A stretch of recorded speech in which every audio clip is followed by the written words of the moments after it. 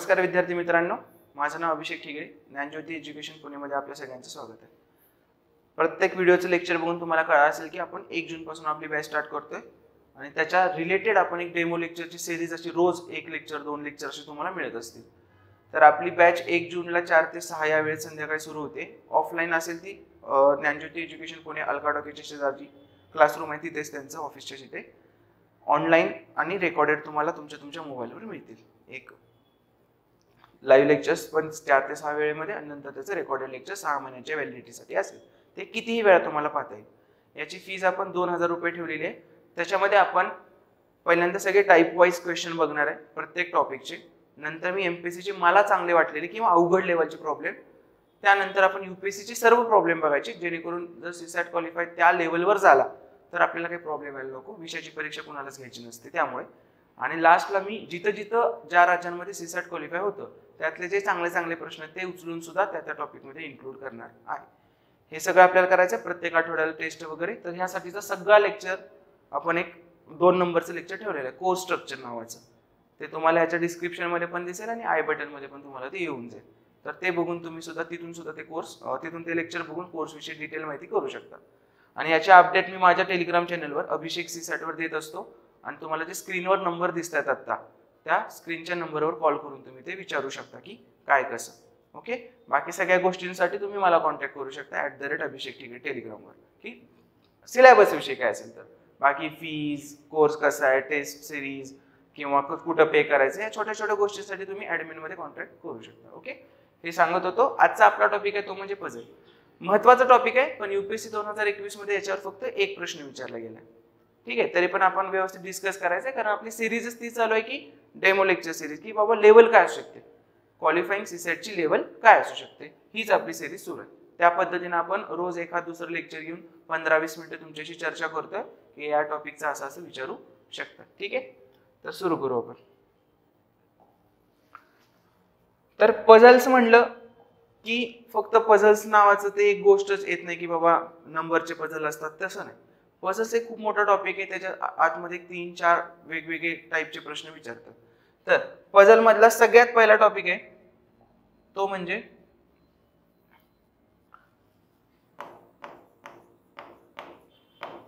तो म्हणजे पझल स्वतःच टॉपिक एक आहे. की त्याच्यात तुम्हाला चित्रविचित्र शब्दांच्या रूपात काहीतरी मांडणी करून पॅसेज देतात आणि तुम्हाला काहीतरी करायला लावतात. ते त्याचं असं काही सांगू शकत नाही मी काय देतील काय नाही. ठीक आहे? त्यामुळे पझल हा एक स्वतःच एक टॉपिक आहे स्वतःमध्ये. दुसरा दुसरा टॉपिक आहे तो म्हणजे सिटिंग अरेंजमेंट आहे. दुसरा टॉपिक आहे सिटिंग अरेंजमेंट बैठक व्यवस्था म्हणतो मराठीमध्ये आपण. बैठक व्यवस्था.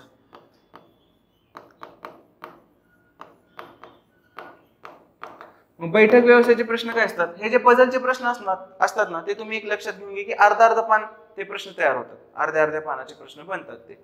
मोठाच्या मोठा पॅसेज देतात खूप साऱ्या गोष्टी इन्क्लूड करतात त्याच्यामध्ये. आणि मग तुम्हाला एक साचा देतात माहितीचा. आणि त्याच्यावर तुम्हाला काहीतरी प्रश्न विचारतात. एक विचारतील दोन विचारतील. ठीक आहे? तर मग सिटिंग अरेंजमेंटमध्ये काय असू शकतं? एक तर सर्क्युलर अरेंजमेंट ही एक फेमस आहे. की टेबलाभोवती सहा जण बसलेत आठ जण बसलेत दहा जण बसलेत बारा जण बसलेत. अशा पद्धतीने ते काढतात. ठीक आहे? सर्क्युलर अरेंजमेंट परत कधी कधी म्हणतात की स्क्वेअर अरेंजमेंट स्क्वेअर टेबलाभोवती बसलेत.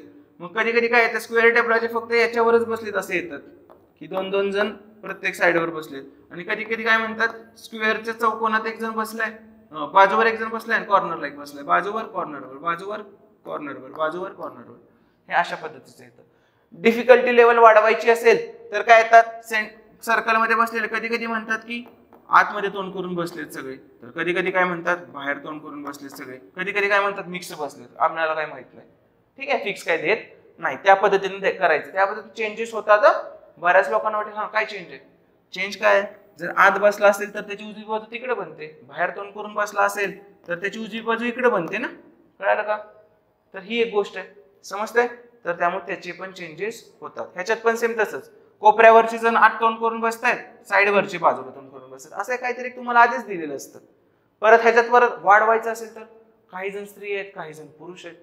हे इतक्या लेवलपर्यंत वाढू शकतं आणि त्याच्यावरून आपल्याला सोडवायचं असतं. आणि विचार करा पंधरा एक ओळी असतात त्या पंधरा ते सोळा ओळी किती रिडिंग करायला लागेल आणि त्या पद्धतीने मांडायला लागतं. प्रॉपर वाचायलाच त्याला दोन अडीच मिनटं लागतात आणि मग परत ते सोडवायचं पण असतं ठीक आहे? तर हे पझल झाले सिटिंग अरेंजमेंट मग हाय हे झालं.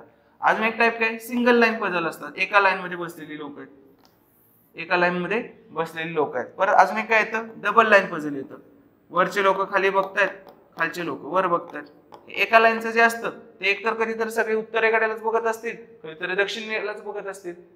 कधीतरी माहीत नाही कुठेही बघत असतील. कळालं का? मग तुम्हाला अशा पद्धतीनं सिटिंग अरेंजमेंटचे पझल विचारू शकतात कळालं? हा काय झाला आपला? टाईप टू झाला. टाईप थ्री टाईप थ्री काय आहे? फ्लोअर बेस पझल आहे.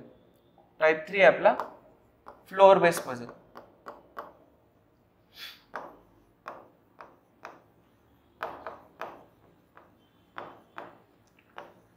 type three आपला फ्लोअर बेस पझल आहे. फ्लोअर बेस पझलमध्ये सगळ्यात बेस्ट उदाहरण येतं ते म्हणजे बिल्डिंगचं की बाबा सेवन स्टोरी बिल्डिंग आहे.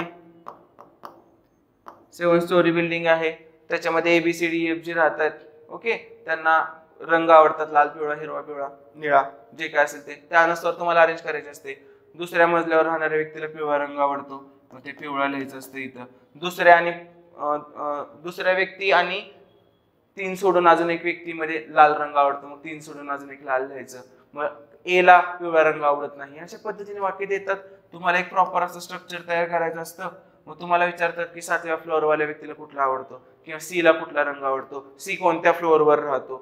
असं सगळ्या पद्धतीनं विचारतात.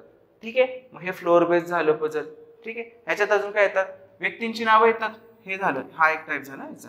ह्याच्यात काय येतात? व्यक्तींची नावं येतात. A B C D E F G त्यांची काम करण्याची गावं पण देतात. मुंबई पुणे दिल्ली कलकत्ता चेन्नई. आणि ते कशात काम करतात हे पण देतात. कुठल्या कुठल्या कंपनीत काम करतात ते पण देतात. आय बी एम दिलं गुगल दिलं काय पण द्या तुम्हाला जे वाटतं ते. नसतील कंपन्या ह्या भारतात. ठीक आहे पण दिलं असं. एक्स वाय झेड कंपन्यांमध्ये काम करतात. आणि मग त्याच्यात पण तेच मग. ए मुंबईला काम करतो पण तो आय टी कंपनीत नाही आहे हे अशा पद्धतीने गोष्टी देतात खूप सारी वाक्य देतात. त्याच्यावरून तुम्हाला परत असं एक स्ट्रक्चर तयार करायचं असतंय. आणि त्यावरून ठरवायचं असतंय. हे काय झाले? फ्लोअर बेस पझल झाले. नंतर तिसरं काय झालं? तिसरं तिसरं आपल्याला जास्त व्यक्ती देत नाहीत. एक ठराविक पाच सहा जणच देतात. पाच सहा जणात तुम्हाला एक तीन वर्ग देतात. किंवा मुलांचं पकडलं. एक सात आठ मुलं देतील तुम्हाला. म्हणतील की एक पहिलीत आहे दुसरीत आहे आणि तिसरीत आहे म्हणतील. आणि ते कुठले कुठले खेळ खेळतात देतील. अशा तीन तीन गोष्टी देतात ते. म्हणजे हे आपल्याला असं करायला लागतं. की मुलं A B C D E F G हे असे देतात आणि पहिल्या दुसरी देतात. मग प्रत्येक वर्गात कमीत कमी दोन तरी मुली आहेत आणि जास्तीत जास्त तीन जण आहेत असं म्हणतात. म्हणजे दोन दोन तीनचं कॉम्बिनेशन बनतं. ह्याच्यात दोन ह्याच्यात दोन ह्याच्यात तीन किंवा असं कसंही बनतं. मग ते पण तुम्हाला ठरवायचं कशात दोन असतील कशात तीन असतील. मग त्यासाठी त्यांनी परमिटेशन कॉम्बिनेशन केलेले असतात. की हा याच्यासोबत नसतो तो त्या सी ए सोबत सी एच्या वर्गात नाहीये. ई हा फक्त डी सोबतच खेळतो. अशा पद्धतीने गोष्टी देतात. त्याच्यावरून पण तुम्हाला असं एक स्ट्रक्चर बनवायचं असतं. आणि मग दिलेल्या प्रश्नांची उत्तरं द्यायची असतात. कळलं का? हे काय झालं आपलं? फ्लोअर बेस पझल झालं. समजते आता तीस चौथा एक टाईप येतो लास्ट टाईप येतो ह्याचा चौथ्या टाईपमध्ये येतं classification base puzzle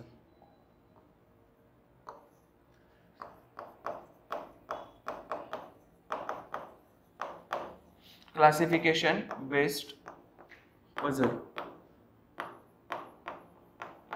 classification based puzzle याच्यात काय देतात तुम्हाला? खूप सारा डेटा देतात तो एकत्र करायचा आणि क्लासिफाय करायचा तो.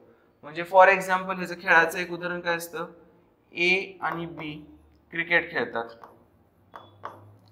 परत बी आणि सी क्रिकेट आणि फुटबॉल खेळतात.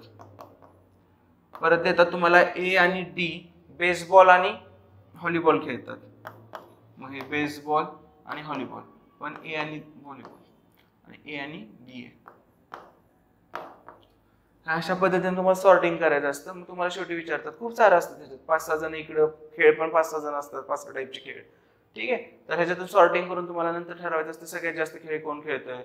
किंवा हे खेळ कोणी कोणी खेळलेले आहेत? अशा पद्धतीचे प्रश्न विचारतात.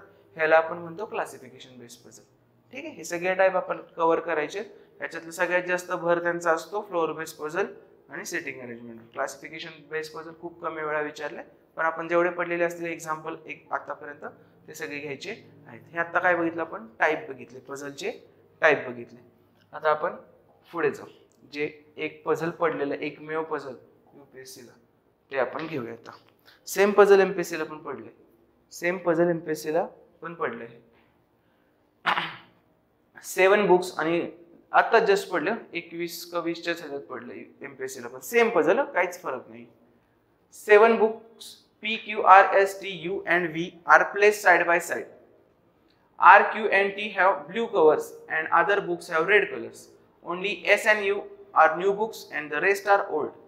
P, R, and S are law reports, the rest are gazetters. Books of old gazetters with blue covers are. तर काय क्लासिफिकेशन करायचं आपल्याला फक्त बुक्सचं तर हे क्लासिफिकेशन पझलमध्ये मोडतं तर मग काय करायचं सेवन बुक्स आहेत आपल्याकडे लिहूया आपण seven books P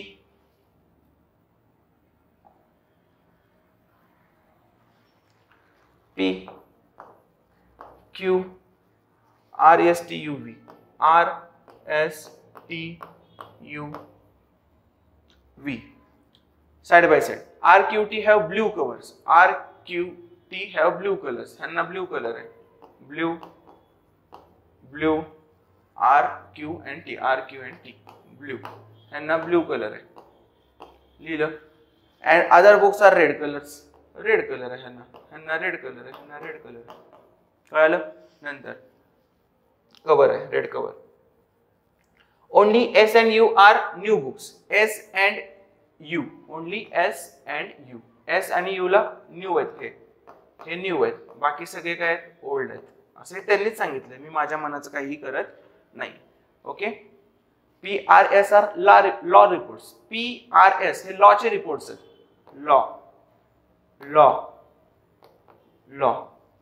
ओके? आणि रेस्ट काय आहेत? गॅझेटेड. गॅझेटर्स आहेत. Books of old gazetteers with blue covers are. काय विचारले? Books of old gazetteers. Old gazetteers कुठे कुठे आहेत बघा? आहे का old gazetteers? Old gazetteers. Old gazetteers. हा ओल्ड लॉ आहे. हा नाही घ्यायचा. झालं एवढे सापडले. पण काय म्हणले? Books of old gazetteers with blue cover आता ब्ल्यू कवर कोणाला आहे? याला आहे. याला आहे याला आहे का? नाही. हे बुक कोणते आहेत रे मग? हा काय झाला? क्यू आणि हा काय झाला? टी म्हणजे काय? Books of old gazetteers with blue covers are Q and T आहे का ऑप्शन क्यू अँड टी असायलाच पाहिजे. सिस्टमॅटिक पद्धतीने गेलोय एकच मिनिट लागतो. तुम्हाला समजावून सांगून वगैरे करून जर दीड मिनिट लागत असेल स्वतः स्वतःला तर पंचेचाळीस सेकंद खूप झाले. काहीच नाही याच्यात अवघड. हा प्रश्न पडला. हा प्रश्न पडलाय. प्रश्न व्यवस्थित वाचायचा सोडवायचं. येते आन्सर आपल्याला बरोबर. क्यू आणि टी काहीतरी अवघड आहे का? हा झाला प्रेझेंटचा प्रश्न. समजतंय? सिस्टमॅटिक पद्धतीने मांडायचं खाडाखोड कुठं काही करायची नाही व्यवस्थित लिहायचं कधी कधी ब्ल्यू ब्लॅक असतं तर ते नीट लिहायचं सरळ मराठीत लिहा निळा काळा नी आणि का असं लिहा. ओल्डला ओल्ड न्यूला न्यू एन वगैरे सगळं लिहिलं की बरोबर उत्तरं येतात. त्यामुळे याचा आन्सर काय आलं? क्यू आणि टी तर युपीएससीला हा एवढा एकच प्रश्न पडलेला. बाकी तर काय नव्हतं. पझल्सवर हा एकच प्रश्न होता. ठीक आहे? तर तुम्हाला किंवा तुमच्या मित्रांना पण बॅच जॉईन करायची असेल सीसेटची तर तुम्ही नंबरवर कॉल करून बॅच जॉईन करू शकता आणि ॲडमिशन घेऊ शकता. तुमचं सीसेट कसं का असेल ना किती का वीक असेल ना? येऊन तुम्हाला फक्त लेक्चरमध्ये बसायचं ते चांगली करायची जबाबदारी माझी. ठीक आहे? धन्यवाद.